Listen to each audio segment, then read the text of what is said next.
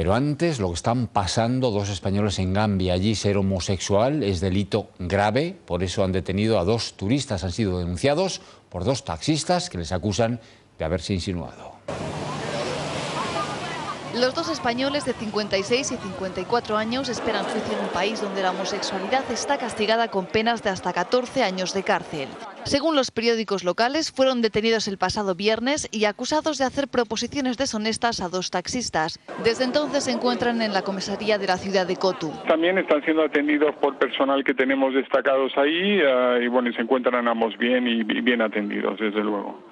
Hoy comparecen ante el juez y las autoridades españolas son optimistas pese a la durísima legislación gambiana.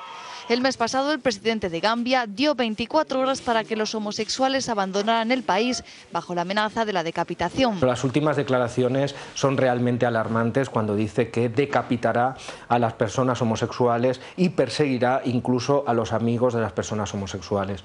Gambia quiere imponer una legislación como la iraní. Estos dos adolescentes fueron ahorcados hace tres años.